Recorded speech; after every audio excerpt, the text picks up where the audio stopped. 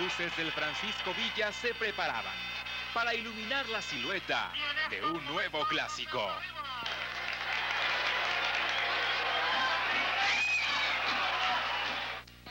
Las porras, los ausentes y los de siempre se encargaron de contestar a los más de cuatro camiones que venían de Aguascalientes a apoyar a los gallos.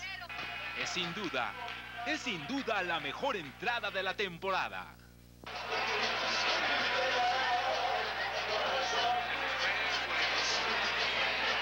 Sin embargo, en el terreno de juego solo aparece la violencia. Se va la calidad acompañada de Rogelio González. Y la Real no encuentra la forma.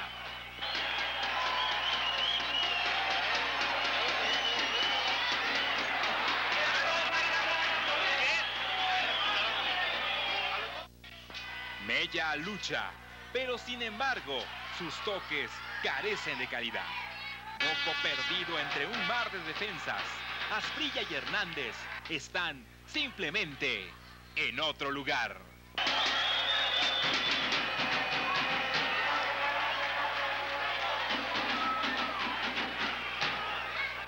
Tras más de 90 minutos, el verano y el deterioro del césped han vuelto a Zacatecas. Ese césped que ha colgado en los últimos torneos las cabezas de Álvarez y Aranda. Parece buscar quien cierre el círculo de las 3A.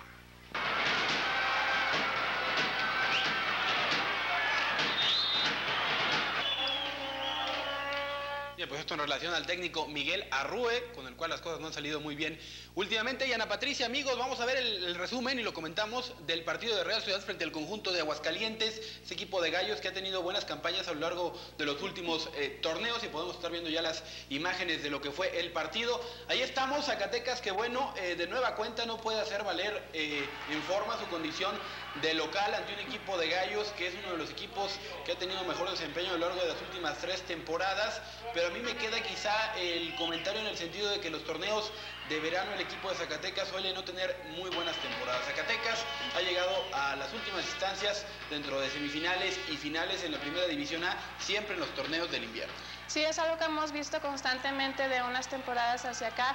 La Real Sociedad de Zacatecas tiene una temporada con más regularidad en, la, en, los torneos de invierno, sin embargo en los torneos de verano vemos que tiende a reducir su rendimiento y bueno, esperemos que en esta temporada logren aumentarlo para que puedan clasificar a la liguilla. Mucho se dice que es en relación a la cancha. Yo recuerdo aquella temporada cuando estuvo Pablo Álvarez como director técnico. Es una jugada polémica porque aquí parece que hay penalti sobre Pablo Boco. El árbitro lo sanciona como tal. Sin embargo, después el juez de línea eh, anula por un fuera de lugar previo en la jugada. El árbitro central había marcado la jugada del penalti. Sin embargo, tras la marcación y tras el auxilio un poco del abanderado, pues decide que era fuera de lugar. Eh, decíamos de, en relación a aquel torneo de Pablo Álvarez, yo recuerdo aquellas declaraciones que hizo en el sentido de que, bueno, bueno, el equipo no tenía buenos resultados por la cancha y es curioso porque Pablo Álvarez eh, salió justamente en un torneo de verano, después vino eh, Manuel Aranda también en un torneo de verano, después de haber ganado en un torneo de invierno el campeonato de, el, subcampeonato de la primera división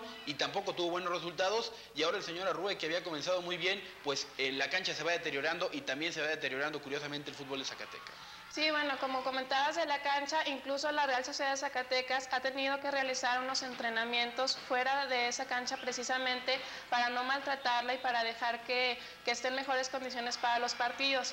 Como ya lo mencionabas, han tendido a, a la baja la Real Sociedad. En los últimos cuatro partidos no ha podido ganar, no ha sabido hacer valer su condición de local, dado que en los últimos dos partidos han sacado solo empates. Y, y, fíjate, yo creo que es también en parte, eh, hablamos las jornadas anteriores que veíamos los resúmenes de la Real Sociedad, de cómo había una falta de creatividad en la media cancha. Creo que esta persiste y ahora sobre todo se, se acentuó en el partido frente al equipo de Gallos en la zona de definición, pero yo también siento que Zacatecas está teniendo, aparte de lo de la cancha y aparte de lo de los factores, una baja de juego terrible. Aquí vemos esta jugada, por ejemplo, de Rogelio González, clarísimo para el gol y se tardan mucho en definir, no encuentran la verdad la forma eh, de encontrar los goles y aparte los delanteros eh, que se esperaba fueran esta temporada eh, la base fundamental de este equipo no han podido encontrar el gol, no sabemos en qué punto es por la falla de los mediocampistas y en qué punto está bien por la, el, bajo nivel que traen los delanteros de Zacatecas, algunos problemas me parece que mínimos entre las porras de Aguascalientes que estaban del otro lado de la malla